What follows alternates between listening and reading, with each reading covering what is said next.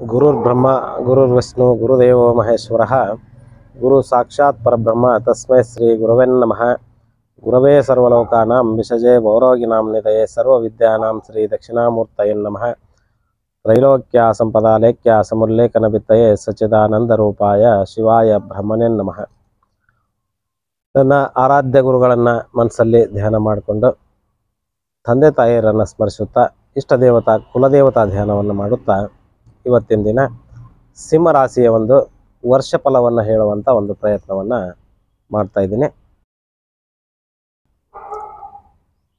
ಈ ಬರುವಂಥ ಯುಗಾದಿಯಿಂದ ಮುಂದೆ ಬರುವಂಥ ಯುಗಾದಿಯವರೆಗೂ ಸಿಂಹರಾಶಿಯವರ ಒಂದು ಗೋಚಾರ ಫಲ ಹೇಗಿರುತ್ತೆ ಅನ್ನುವಂಥದ್ದನ್ನು ನೋಡಿದಾಗ, ಮೊದಲನೇದಾಗಿ ಗುರು ಗೋಚಾರ ಫಲವನ್ನು ನೋಡಿದಾಗ, ಗುರು ದಿನಾಂಕ ಇಪ್ಪತ್ತೆರಡು ನಾಲ್ಕು ಎರಡು ಸಾವಿರದ ಇಪ್ಪತ್ತ್ಮೂರರವರೆಗೂ ಅಷ್ಟಮದಲ್ಲಿ ಸಂಚಾರ ಮಾಡ್ತಾ ಇರೋದರಿಂದ ಪಂಚಮಾಧಿಪತಿ ಆಗಿರತಕ್ಕಂತಹ ಗುರು ಅಷ್ಟಮಾಧಿಪತಿಯೂ ಆಗಿ ಅಷ್ಟಮ ಸ್ಥಾನದಲ್ಲಿ ಸಂಚಾರ ಮಾಡ್ತಾ ಇರೋದರಿಂದ ಸಾಕಷ್ಟು ತೊಂದರೆಯಲ್ಲಿ ಇರ್ತೀರಿ ಹಾಗೆ ಅಷ್ಟಮದಲ್ಲಿ ಗುರು ಇರುವಾಗ ಏನೇನು ಆಗಬಹುದು ಅನ್ನುವಂಥ ವಿಚಾರವನ್ನು ನಾವು ನೋಡಿದಾಗ ಬಂಧನದ ಸಾಧ್ಯತೆ ಇರುತ್ತೆ ಎನ್ನುವಂಥ ಸಮಸ್ಯೆಗಳು ಕಂಡುಬರುತ್ತೆ ಯಾಕಂದರೆ ಇಲ್ಲಿ ಗುರುವಿಗೆ ಒಂದು ಸಿಂಹರಾಶಿಗೆ ಅಷ್ಟಮ ಸ್ಥಾನ ಅನ್ನತಕ್ಕಂಥದ್ದು ಮೀನರಾಶಿ ಅನ್ನುವಂಥದ್ದು ಆಗಿರೋದ್ರಿಂದ ಇವರು ಧರ್ಮ ಕಾರ್ಯವನ್ನೇ ಮಾಡೋದಕ್ಕೆ ಅಂತ ಹೇಳಿ ಜನನ ಆಗಿರುವಂಥವರು ಅಧರ್ಮ ಕಾರ್ಯಗಳಿಗೆ ಕೈ ಹಾಕಿದಾಗ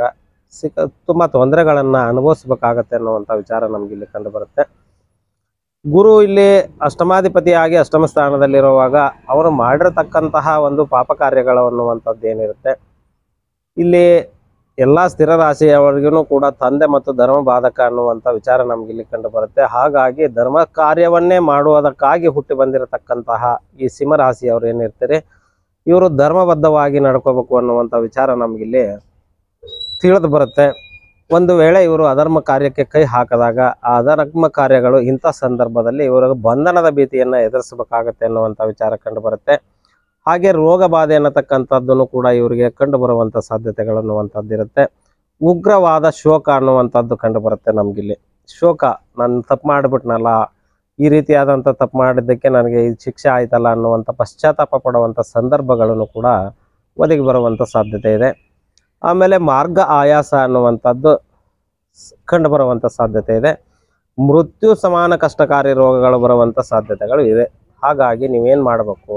ಈ ಅಷ್ಟಮದಲ್ಲಿ ಇರತಕ್ಕಂತಹ ಗುರುವಿನ ದೋಷವನ್ನು ಪರಿಹಾರ ಮಾಡ್ಕೋಬೇಕು ಅಂತ ಕೇಳಿದ್ರೆ ತಂದೆಯ ಒಂದು ಮಾರ್ಗದರ್ಶನವನ್ನು ತಗೋಬೇಕು. ಹಾಗೆ ತಾತನ ಮಾರ್ಗದರ್ಶನವನ್ನು ಕೂಡ ತಗೋಬೇಕಾಗುತ್ತೆ. ಗುರು ಹಿರಿಯರ ಒಂದು ಮಾರ್ಗದರ್ಶನದಿಂದ ನೀವು ನಡೆದಿದ್ದೇ ಆದರೆ ಈ ಗುರುಗಳು ಅನ್ನತಕ್ಕಂಥವ್ರು ಏನಿರ್ತಾರೆ, ನಿಮ್ಮ ಪ್ರೀತಿ ಪಾತ್ರ ಗುರುಗಳು ಅನ್ನುವಂಥವ್ರು ಏನಿರ್ತಾರೆ, ಅವರ ಒಂದು ಮಾರ್ಗದರ್ಶನ. ಪ್ರೀತಿ ಪಾತ್ರರು ಅನ್ನೋದಕ್ಕಿಂತ ಸದ್ಗುರುವಿನ ಮಾರ್ಗದರ್ಶನ ಪಡ್ಕೊಳ್ಳೋದು ಉತ್ತಮ ನೀವು ಅನ್ನುವಂಥದ್ದು ತಿಳಿದು ಬರುತ್ತೆ. ಯಾಕಂದರೆ ರಾಜಕಾರಣಿಗಳು ಅನ್ನುವಂಥದ್ದು ಬಂದಾಗ ಈ ಬುಧನ ರಾಶಿಯವರು, ಶುಕ್ರನ ರಾಶಿಯವರು, ಇವರು ಏನಂತ ಕೇಳಿದ್ರೆ ಅವರ ಪ್ರೀತಿ ಪಾತ್ರರ ಒಂದು ಮಾರ್ಗದರ್ಶನವನ್ನು ತಗೊಂಡಾಗ ಅವ್ರಿಗೆ ಇಷ್ಟಾರ್ಥ ಸಿದ್ಧಿ ಮಾಡ್ಕೊಳ್ಳೋದಕ್ಕೆ ಅನುಕೂಲಗಳು ಜಾಸ್ತಿ ಇರುತ್ತೆ. ಅವ್ರಿಗೆ ಏನು ಬೇಕಾದ್ರೂ ಹೇಳೋದಕ್ಕೆ ಮತ್ತು ಏನು ಬೇಕಾದರೂ ಮಾಡೋದಕ್ಕೆ ಶಕ್ತವಾಗಿರೋದ್ರಿಂದ ಅವರು ಕಾಲಕ್ಕೆ ತಕ್ಕನಾಗಿರತಕ್ಕಂತಹ ಬದಲಾವಣೆಯ ಗುಣಗಳನ್ನು ಹೊಂದಿರೋದ್ರಿಂದ ಅವರಿಗೇನು ತೊಂದರೆ ಆಗದೇ ಇರಬಹುದು. ಆದರೆ ಧರ್ಮ ಕಾರ್ಯಗಳಿಗಾಗಿ ಬಂದವರು ನೀವು ನಿಷ್ಠುರರಾಗಿರೋದ್ರಿಂದ ನೀವು ಸದ್ಗುರುವಿನ ಮಾರ್ಗದರ್ಶನವನ್ನು ತಗೊಳ್ಳೋದು ಉತ್ತಮ ಅನ್ನುವಂಥ ವಿಚಾರ ಕಂಡು ಬರುತ್ತೆ. ಯಾವತ್ತೂ ಕೂಡ ಗುರುವಿನ, ಗುರುವಿಗೆ ವಿರುದ್ಧವಾಗಿ ನಡ್ಕೊಳ್ಳುವಂಥದ್ದಾಗಲಿ ತಂದೆ ತಾಯಿಗಳಿಗೆ ವಿರುದ್ಧವಾಗಿ ನಡ್ಕೊಳ್ಳುವಂಥದ್ದಾಗಲಿ ತಾತನಿಗೆ ವಿರುದ್ಧವಾಗಿ ನಡ್ಕೊಳ್ಳುವಂಥದ್ದಾಗಲಿ ಇಂಥ ಕರ್ಮಗಳನ್ನು ನೀವು ಮಾಡಿದ್ದೇ ಆದರೆ, ಅಧರ್ಮ ಕಾರ್ಯಗಳಿಗೆ ನೀವು ಕೈ ಹಾಕಿದ್ದೇ ಆದರೆ ಇಂಥ ಸಂದರ್ಭದಲ್ಲಿ ಅನೇಕ ಸಮಸ್ಯೆಗಳನ್ನು ಎದುರಿಸಬೇಕಾಗತ್ತೆ ಅನ್ನುವಂಥ ವಿಚಾರ ನಮಗೆ ಇಲ್ಲಿ ಕಂಡು ಬರುತ್ತೆ. ಹಾಗಾಗಿ ತಂದೆ ತಾಯಿ ಗುರು ಹಿರಿಯರ ಮಾತಿನಂತೆ ನೀವು ನಡೆದಿದ್ದೇ ಆದರೆ ಅತ್ ಅದ್ಭುತವಾಗಿರತಕ್ಕಂಥ ಫಲ ನಿಮ್ಮದಾಗತ್ತೆ ಅನ್ನುವಂಥ ವಿಚಾರ ನಮ್ಗೆ ಇಲ್ಲಿ ಕಂಡು ಬರುತ್ತೆ. ಹಾಂ, ಇಪ್ಪತ್ತೆರಡು ನಾಲ್ಕು ಎರಡು ಸಾವಿರದ ಇಪ್ಪತ್ತ್ಮೂರರ ನಂತರ ಗುರು ಒಂಬತ್ತನೇ ಒಂದು ಸ್ಥಾನವನ್ನು ಪ್ರವೇಶ ಮಾಡೋದ್ರಿಂದ ಈ ಒಂಬತ್ತನೇ ರಾಶಿಯಲ್ಲಿ ಗುರು ಸಂಚಾರ ಮಾಡ್ತಾ ಇರುವಾಗ ನೈಪುಣ್ಯತೆ ಅನ್ನುವಂಥದ್ದು, ಆಮೇಲೆ ಆಜ್ಞಾಸಿದ್ಧಿ ಅನ್ನತಕ್ಕಂಥದ್ದು, ಪುತ್ರ ಸುಖ ಅನ್ನತಕ್ಕಂಥದ್ದು ಕರ್ಮ ಸುಖ ಅನ್ನುವಂಥದ್ದು, ಇಷ್ಟಾರ್ಥ ಸಿದ್ಧಿ ಅಂತ ಆಗುವಂಥದ್ದು ಲಭಿಸುತ್ತೆ ಅನ್ನುವಂಥ ವಿಚಾರ ನಮಗಿಲ್ಲಿ ತಿಳಿದು ಬರುತ್ತೆ. ಆದಾಗ್ಯೂ ಕೂಡ ಆ ಒಂಬತ್ತನೇ ಸ್ಥಾನದಲ್ಲಿ ನಿಮಗೆ ರಾಹುವಿನ ಸಂಚಾರ ನಡೀತಾ ಇರೋದ್ರಿಂದ ದುರ್ಬುದ್ಧಿ ಅನ್ನತಕ್ಕಂಥದ್ದನ್ನು ನೀವು ಯಾವುದೇ ಕಾರಣಕ್ಕೂ ಬಳಸದೇ ಇರೋದು ಉತ್ತಮ ಅನ್ನತಕ್ಕಂಥ ವಿಚಾರ ಕಂಡು ಬರುತ್ತೆ.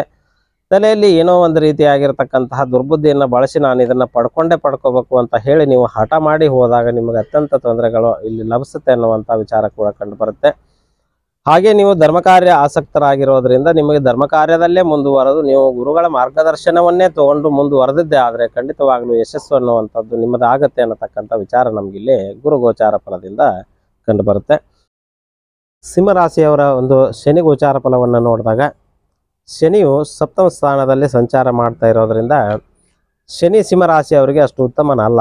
ಅನ್ನುವಂಥದ್ದು ಕಂಡು ಬರುತ್ತೆ ಯಾಕಂತ ಕೇಳಿದ್ರೆ ಇಲ್ಲಿ ಆರು ಮತ್ತು ಏಳನೇ ಮನೆ ಅಧಿಪತಿ ಅಷ್ಟು ಉತ್ತಮ ಅಲ್ಲ ಅನ್ನುವಂಥ ವಿಚಾರ ನಮಗೆ ಇಲ್ಲಿ ಕಂಡು ಬರುತ್ತೆ ಹಾಗಾಗಿ ಸಪ್ತಮದಲ್ಲಿ ಶನಿ ಸಂಚಾರ ಮಾಡ್ತಾ ಇರುವಾಗ ಒಂದಿಷ್ಟು ತೊಂದರೆಗೀಡಾಗ್ಬೋದು ಅನ್ನುವಂಥ ವಿಚಾರ ನಮಗಿಲ್ಲಿ ಕೊಂಡು ಕಂಡು ಬರುತ್ತೆ ಹಾಗೆ ಸಪ್ತಮಾಧಿಪತಿಯಾಗಿ ಸಪ್ತಮ ಸ್ಥಾನದಲ್ಲೇ ಇರೋದ್ರಿಂದನೂ ಕೂಡ ಅಲ್ಲೊಂದಿಷ್ಟು ಉತ್ತಮ ವಿಚಾರಗಳನ್ನು ಕೂಡ ತಿಳಿದು ಬರುತ್ತೆ. ಹೇಗೆ ಅಂತ ಕೇಳಿದ್ರೆ ಇಲ್ಲಿ ಪತ್ನಿ ಅನ್ನುವಂಥ ವಿಚಾರ ಸಪ್ತಮದಿಂದ ತಿಳಿದು ಬಂದಾಗ ಸ್ವಪತ್ನಿಯ ಜೊತೆಲೇನೆ ಇವರು ಏನಂತ ಕೇಳಿದ್ರೆ ಚೆನ್ನಾಗಿ ಒಂದು ಸಂಸಾರ ಮಾಡ್ಕೊಂಡಿದ್ದವರು ಆಗಿದ್ರೆ ಅಂತ ಕೇಳಿದ್ರೆ ಧರ್ಮ ಮಾರ್ಗದಲ್ಲಿ ಇವರು ನಡೆದಿದ್ದೇ ನಿಜ ಆಗಿದ್ರೆ ಇವರಿಗೆ ಉತ್ತಮ ಫಲಗಳೇ ಅನ್ನುವಂಥದ್ದು ಲಭಿಸುತ್ತೆ ಅನ್ನುವಂಥದ್ದು ಕಂಡು ಬರುತ್ತೆ. ಅಧರ್ಮ ಮಾರ್ಗಕ್ಕೆ ಕೈ ಹಾಕಿದಾಗ ಪರಸ್ತ್ರೀ ವ್ಯಾಮೋಹಕ್ಕೆ ಏನಾದರೂ ಇವರು ಬಿದ್ದಿದ್ದೇ ಆದರೆ ಮಾರ್ಗದಲ್ಲಿ ಅಲೆದಾಡುತ್ತಾ ಕಷ್ಟಕಾರಿ ಜೀವನವನ್ನು ಸಾಗಿಸಬೇಕಾಗತ್ತೆ ಅನ್ನುವಂಥ ವಿಚಾರ ನಮ್ಗೆ ಇಲ್ಲಿ ಕಂಡು ಬರುತ್ತೆ ಯಾಕಂದ್ರೆ ಗುರು ಕೂಡ ಇಲ್ಲಿ ಅಷ್ಟಮ ಸ್ಥಾನದಲ್ಲಿರುವಂಥದ್ದು ಕಂಡು ಬರುತ್ತೆ ಭಾಗ್ಯಸ್ಥಾನದಲ್ಲಿ ಗುರು ಸಂಚಾರ ಮಾಡ್ತಾ ಇದ್ದಾಗ್ಲೂ ಕೂಡ ಅಲ್ಲಿ ಒಂದು ರಾಹುವಿನ ಪ್ರಭಾವ ಅನ್ನತಕ್ಕಂಥದ್ದು ಕಂಡು ಬರುತ್ತೆ ಹಾಗಾಗಿ ಧರ್ಮ ಕಾರ್ಯಕ್ಕಾಗಿ ಬಂದು ನೀವು ಧರ್ಮ ಕಾರ್ಯ ಬದ್ಧವಾಗೇ ನೀವು ನಡ್ಕೊಂಡಿದ್ದೇ ಆದರೆ, ಗುರು ಹಿರಿಯರ ಮಾರ್ಗದರ್ಶನದಲ್ಲೇ ನೀವು ನಡೆದಿದ್ದೇ ಆದರೆ, ನಿಮಗೆ ಅತ್ಯುತ್ತಮ ಫಲಗಳು ಅನ್ನುವಂಥದ್ದು ಲಭಿಸುತ್ತೆ ಅನ್ನುವಂಥ ವಿಚಾರ ನಮಗಿಲ್ಲಿ ಕಂಡು ಬರುತ್ತೆ ಅದಾದಮೇಲೆ ನಿಮಗೆ ಆ ಒಂದು ರಾಹು?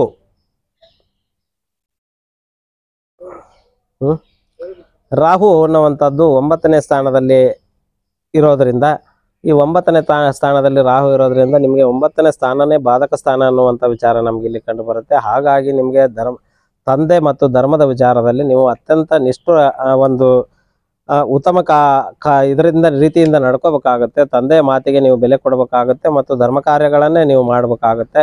ಧರ್ಮದಲ್ಲೇ ಶ್ರದ್ಧೆ ಉಳ್ಳವರು ಆಗಿದ್ರೆ ನಿಮಗೆ ಅತ್ಯಂತ ಉತ್ತಮ ಫಲಕಾರ್ಯ, ಫಲ ಅನ್ನುವಂಥದ್ದು ನಿಮಗೆ ಲಭಿಸುತ್ತೆ ಅನ್ನುವಂಥ ವಿಚಾರ ನಮಗೆ ಇಲ್ಲಿ ಕಂಡು ಬರುತ್ತೆ. ದಿನಾಂಕ ಮೂವತ್ತು ಹತ್ತು ಎರಡು ಸಾವಿರದ ಇಪ್ಪತ್ತ್ಮೂರರ ನಂತರ ಈ ರಾಹು ಮತ್ತು ಅಷ್ಟಮ ಸ್ಥಾನದಲ್ಲಿ ಪ್ರವೇಶ ಮಾಡೋದ್ರಿಂದ ನಿಮಗೆ ಅಷ್ಟಮ ಸ್ಥಾನ ಅನ್ನುವಂಥದ್ದು ಮೀನರಾಶಿ ಆಗಿರೋದ್ರಿಂದ ನಿಮ್ಮ ಯಾವಾಗಲೂ ಕೂಡ ಧರ್ಮಬದ್ಧವಾಗಿಯೇ ನೀವು ನಡ್ಕೋಬೇಕಾಗತ್ತೆ. ಇಲ್ಲ ಅಂತಂದರೆ ನಿಮಗೆ ಗುರುಗಳ ಒಂದು ಇದು ಏನು ಮಾರ್ಗದರ್ಶನದ ಕೊರತೆ ಆಗಬಹುದು. ಹಾ, ಇನ್ನು ಗುರುವಿನ ಒಂದು ಅನುಗ್ರಹಕ್ಕೆ ನೀವು ಪಾತ್ರರಾಗದೇ ಇರಬಹುದು. ನಿಮಗೆ ಬೇಕಾದಂಥ ನೀವು ಇಷ್ಟಾರ್ಥಗಳನ್ನು ಸಿದ್ಧಿಸಿಕೊಳ್ಳಕ್ ಆಗದೇ ಇರಬಹುದು. ಆ ರೀತಿಯಾದಂಥ ಪರಿಸ್ಥಿತಿಗಳನ್ನು ಎದುರಿಸಬೇಕಾಗತ್ತೆ ಅನ್ನುವಂಥದ್ದು ಗುರುವಿನ ಮನೆಯಲ್ಲಿ ರಾಹು ಇದ್ದಾಗ ಒಂದು ಗುರುಚಾಂಡಾಲ ಯೋಗ ಅನ್ನತಕ್ಕಂಥದ್ದು ಕೂಡ ನಿಮಗೆ ಬರುವಂಥ ಸಾಧ್ಯತೆಗಳಿರುತ್ತೆ ಹಾಗಾಗಿ ಗುರುವಿನ ಮಾರ್ಗದರ್ಶನವನ್ನು ಮೀರಿ ನಡ್ಕೊಳ್ಳುವಂಥದ್ದು ಒಂದು ಅಭ್ಯಾಸ ನೀವು ಕಡಿಮೆ ಮಾಡಿಕೊಂಡ್ರೆ ಉತ್ತಮ ಅನ್ನುವಂಥ ವಿಚಾರ ನಮಗಿಲ್ಲಿ ತಿಳಿದು ಬರುತ್ತೆ. ಇನ್ನು ಕೇತುವಿನ ವಿಚಾರಕ್ಕೆ ಬಂದಾಗ ಕೇತು ವರ್ಷಾರಂಭದಿಂದ ದಿನಾಂಕ ಹ, ಮೂವತ್ತು ಹತ್ತು ಎರಡು ಸಾವಿರದ ಇಪ್ಪತ್ತ್ ಮೂರರವರೆಗೆ ಮೂರನೇ ಸ್ಥಾನದಲ್ಲಿರುವಾಗ ಮೂರನೇ ಸ್ಥಾನದಲ್ಲಿ ಒಳ್ಳೆ ಧನಲಾಭ ಅನ್ನತಕ್ಕಂಥ ವಿಚಾರ ಕಂಡುಬರುತ್ತೆ ಹಾಗೆ ಮೂವತ್ತು ಹತ್ತು ಎರಡು ಸಾವಿರದ ಇಪ್ಪತ್ತ್ ಮೂರರ ನಂತರ ಕನ್ಯಾ ರಾಶಿಯನ್ನು ಕೇತು ಪ್ರವೇಶ ಮಾಡಿದಾಗ ನಿಮಗೆ ಅದು ಧನಸ್ಥಾನ ಅನ್ನುವಂಥದ್ದಾಗುತ್ತೆ. ಅಲ್ಲಿ ಧನಹಾನಿ ಅನ್ನುವಂಥ ವಿಚಾರನೂ ಕೂಡ ಅಲ್ಲಿ ನಮಗೆ ಕಂಡು ಬರುತ್ತೆ ಅನ್ನುವಂಥ ವಿಚಾರ ಕಂಡು ಬರುತ್ತೆ. ಹಾಗಾಗಿ ನೀವು ಆದಷ್ಟು ಧರ್ಮಬದ್ಧವಾಗಿ ನಡ್ಕೊಳ್ಳುವಂಥದ್ದು, ಗುರುಗಳ ಮಾರ್ಗದರ್ಶನವನ್ನು ಪಡ್ಕೊಳ್ತಕ್ಕಂಥದ್ದು ಮತ್ತು ತಂದೆಯನ್ನ ಯಾವತ್ತು ನೀವು ದುಃಖಕ್ಕೆ ಈಡು ಮಾಡದ, ಮಾಡದೇ ಇರೋ ರೀತಿಯಾಗಿ ನೀವು ನಡ್ಕೊಳ್ಳೋದ್ರಿಂದ ಧರ್ಮ ಕಾರ್ಯದಲ್ಲೇ ಆಸಕ್ತರಾಗಿ, ಧರ್ಮಬದ್ಧವಾಗಿ ನೀವು ನಡ್ಕೊಂಡಿದ್ದೆ, ಆದರೆ ಅತ್ಯಂತ ಶುಭ ಫಲವನ್ನು ನೀವು ಅನುಭವಿಸ್ಬೋದು ಅಂತ ಹೇಳ್ತಾ ಇವತ್ತಿನ ಒಂದು ಸಿಂಹರಾಶಿಯ ಒಂದು ವರ್ಷ ಭವಿಷ್ಯವನ್ನು ಮುಗಿಸ್ತಾ ಇದ್ದೀನಿ. ನಮಸ್ಕಾರ, ಧನ್ಯವಾದಗಳು.